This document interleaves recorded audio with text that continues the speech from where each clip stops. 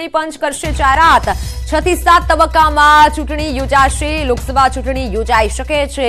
April અને મે મહિનામાં મતદાન યોજાઈ શકે છે. ગુજરાતમાં એક જ તબક્કામાં ચૂંટણી થઈ શકે છે. મે અંતમાં અથવા તો જૂનમાં પરિણામની સંભાવના છે. ગુજરાત વિધાનસભાની છ બેઠકોની પેટા ચૂંટણીની પણ જાહેરાત થશે. ખંભાત, વિજાપુર, માણાવદર બેઠક ખાલી છે.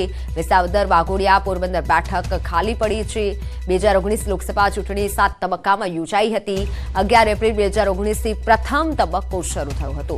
ત્રેવીસ મે બે હજાર ઓગણીસના રોજ પરિણામ જાહેર થયું હતું. બે હજાર ચૌદ લોકસભાની ચૂંટણી નવ તબક્કામાં યોજાઈ હતી. સાત એપ્રિલ બે હજાર ચૌદથી પ્રથમ તબક્કો શરૂ થયો હતો. સોળ મે બે હજાર ચૌદના રોજ પરિણામ જાહેર થયા હતા. બે હજાર નવ લોકસભાની ચૂંટણી બે માર્ચે જાહેર થઈ હતી.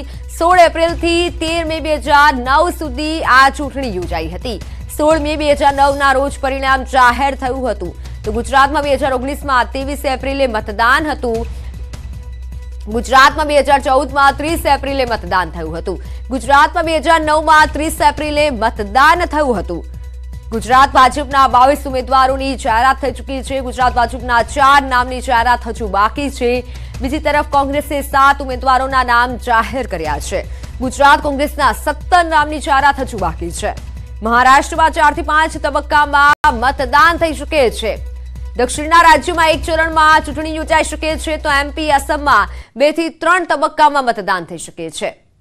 યુપી, બિહાર, બંગાળમાં છ થી સાત તબક્કામાં મતદાન સંભવિત છે જ્યારે મેના અંતમાં અથવા જૂનમાં પરિણામની સંભાવના છે. ગુજરાતમાં એક જ તબક્કામાં ચૂંટણી યોજાઈ શકે છે. પેટા ચૂંટણીની તારીખોની આજે જાહેરાત થશે.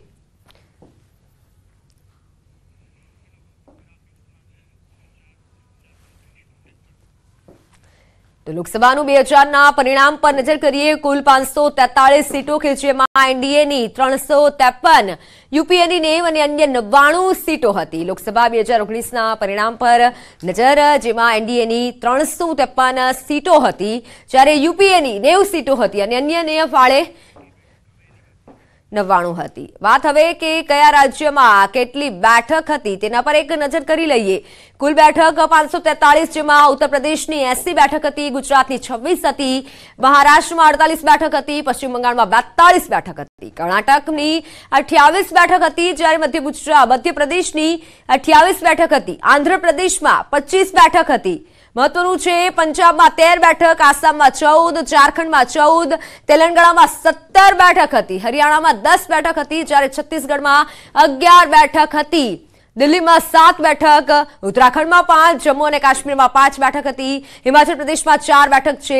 મહત્વનું છે પાંચસો તેતાળીસમાંથી મેઘાલયમાં બે, ગોવામાં પણ બે બેઠક હતી.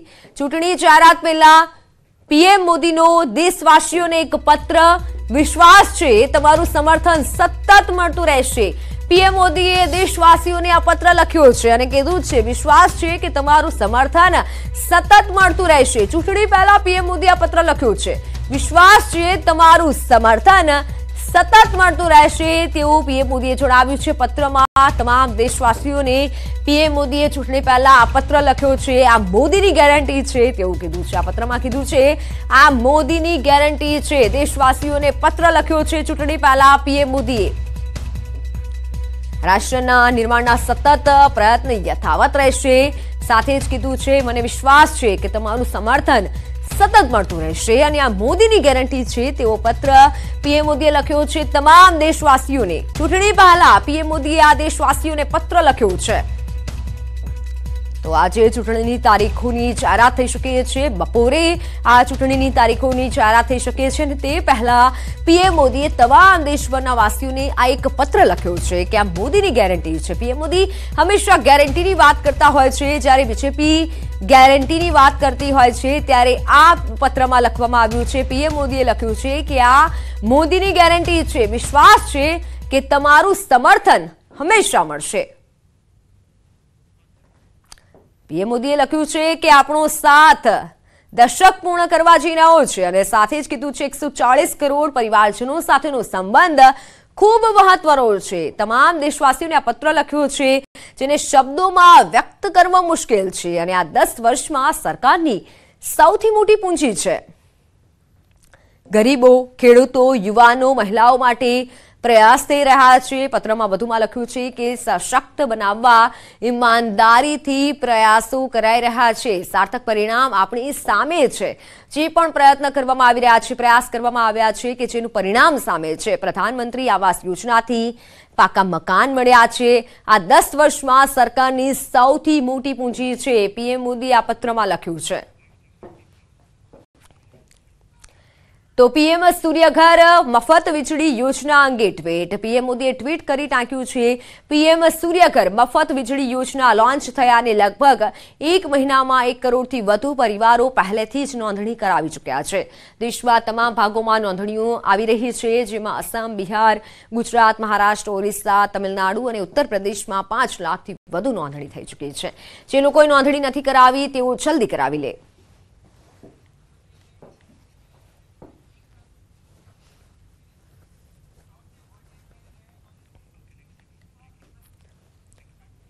મહત્વના સમાચારની વાત કરીએ તો બનાસકાંઠાના ઝઝામ દુદોસણ કસ્ટમ રોડ પર મિથેનોલ ભરેલું ટેન્કર પલટ્યા બાદ બનાસકાંઠા પોલીસે સ્થાનિક લોકોની અપીલ કરી છે. સાથે જ અકસ્માત બાદ કેટલાક લોકો દારૂ સમજી ઝેરી કેમિકલ લઈ જતા રહ્યા હતા અને જેથી પોલીસે મોડી રાત્રે જ આસપાસના વિસ્તારમાં લોકોના ઘરમાં દરોડા પાડ્યા હતા અને લઈ જવાયેલું કેમિકલ પકડી અને તેનો નાશ કર્યો હતો. પોલીસે સ્થાનિકોને અપીલ કરી છે, આ ઝેરી કેમિકલ છે અને તેનાથી પશુઓ અને માનવને દૂર રાખવું જોઈએ, જેનો નાશ કરી દેવાની પણ પોલીસે અપીલ કરી છે. ગઈકાલે સુઈ ગામના ઝઝામ રોડ પર ટેન્કર પલટી ગયું હતું. ખરાબ રસ્તાના કારણે ટેન્કર પલટતા તેમાં આગ લાગી હતી. જો કે આ બનાવમાં કોઈ જાનહાનિ તો નથી થઈ, પરંતુ કેટલાક લોકો દારૂ અને પેટ્રોલ સમજી કેમિકલને લઈ ગયા હતા. આ બનાવ બાદ જિલ્લા પોલીસે બનાવને ગંભીરતાથી લીધો હતો. ટેન્કર પંજાબના લુધિયાણા જઈ રહ્યું હતું અને ટેન્કર પલટ્યા બાદ આગ લાગી હતી અને તે આગને કાબૂમાં લેવાઈ છે.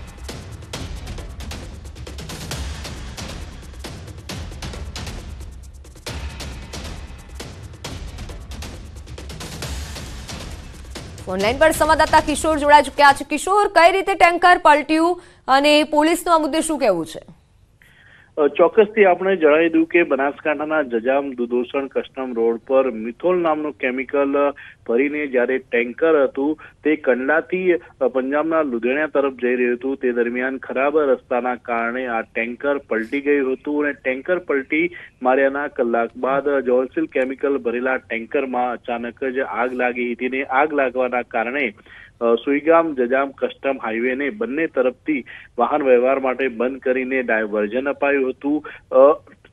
ટેન્કરમાં આગ લાગ્યા બાદ સદનસીબે જાનહાની ટળી હતી. ડ્રાઈવર અને ક્લીનરનો તો બચાવ થયો હતો, પરંતુ મહત્વની વાત એ છે કે જ્યારે આ ટેન્કર પલટ્યું ત્યારે લોકો આલ્કોહોલ અને પેટ્રોલ સમજીને આ ટેન્કરમાંથી કેરબાઓ અને ડબ્બાઓ ભરીને આ ઝેરી કેમિકલ લઈ ગયા હતા અને તે બાદ સ્થાનિક રોડલાઇન ટ્રાન્સપોર્ટ કંપની દ્વારા બનાસકાંઠા જિલ્લા પોલીસ વડાને પત્ર લખવામાં આવ્યો હતો કે ઝેરી કેમિકલ ભરીને લોકો પોતાના ઘરે લઈ ગયા છે. તે બાદ બનાસકાંઠા પોલીસ ગંભીરતાને ધ્યાનમાં લઈને મોડી રાત્રે સુધી છાપેમારી હાથ ધરવામાં આવી હતી. આલ્કોહોલ અને પેટ્રોલ સમજી જે લોકો કેમિકલને ઘરે લઈ ગયા હતા, તેમના ઘરોમાં છાપો મારવામાં આવ્યો હતો અને આ તમામ જે કેમિકલ હતું તે પોલીસ દ્વારા નષ્ટ કરવામાં આવ્યું હતું. તે ઉપરાંત બનાસકાંઠા જિલ્લા પોલીસે સ્થાનિક લોકોને અપીલ પણ કરી છે કે કેમિકલ હાનિકારક હોવાથી પશુઓ તેમજ માનવોને દૂર રાખવા.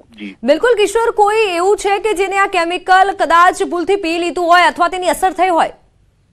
હજુ સુધી એ સામે નથી આવ્યું કે આ કેમિકલ કોઈ વ્યક્તિએ પીધું હોય અથવા કોઈ પશુએ પીધું હોય કે તેની અસર થઈ હોય. કારણ કે જ્યારે પોલીસને ધ્યાને આવતા પોલીસે ગંભીરતા ધ્યાને લીધી હતી અને મોડી રાત સુધી આ છાપેમારી ચાલુ હતી અને છાપેમારી દરમિયાન, જે લોકો આને આલ્કોહોલ અને પેટ્રોલ સમજીને પોતાના ઘરે લઈ ગયા હતા, તે લોકોના ઘરે છાપો મારીને પોલીસ દ્વારા કેમિકલને નષ્ટ કરવામાં આવ્યું હતું. બિલકુલ કિશોર, આભાર સમગ્ર માહિતી બદલ. તો ઢોળાયેલા કેમિકલને દારૂ સમજી લોકો ઉઠાવી ગયા, પરંતુ પોલીસ દ્વારા તમામને અપીલ કરવામાં આવી છે, તે કેમિકલ ઘરે લઈ ગયા છે, તેને ભૂલથી પણ ન પી લે, કારણ કે તે પશુ માટે પણ જોખમી છે અને આ કેમિકલ માનવ માટે પણ જોખમી છે. તેનો ઉપયોગ ન કરવો જોઈએ, અવાવરું જગ્યાએ આ કેમિકલનો નાશ કરવો જોઈએ. એક ટેન્કર પલટી ગયું જેમાં કેમિકલ છે, પરંતુ લોકો આ કેમિકલ લઈ ઘરે જતા રહ્યા હતા.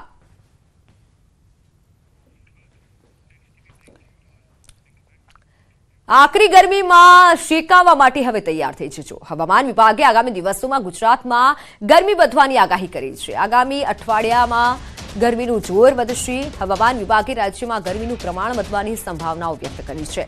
દિવસ અને રાતના તાપમાનમાં વધારો થઈ શકે છે. લઘુત્તમ અને મહત્તમ બંને તાપમાનમાં આગામી પાંચ દિવસમાં બેથી ત્રણ ડિગ્રીનો વધારો થવાની સંભાવનાઓ છે. રાજ્યમાં અમદાવાદ સૌથી ગરમ શહેર રહ્યું છે. જ્યારે ગાંધીનગરમાં પણ હવે તાપમાન ઊંચું જઈ રહ્યું છે. ગુજરાતના ઉત્તર અને દક્ષિણ બંને દરિયે કાંઠે પવનો અને ઉત્તર પશ્ચિમ અને ઉત્તરના પવનો ફૂંકાવાની શક્યતાઓ છે જેની ગતિ દસથી પંદર કિલોમીટર પ્રતિ કલાકની રહી શકે છે पाँच दिनों की बात करें हम अधिकतम तापमान की तो उसमें दो से तीन डिग्री और जो है अ, आसार है कि जो है तापमान जो है सैंतीस डिग्री या अड़तीस डिग्री तक जो है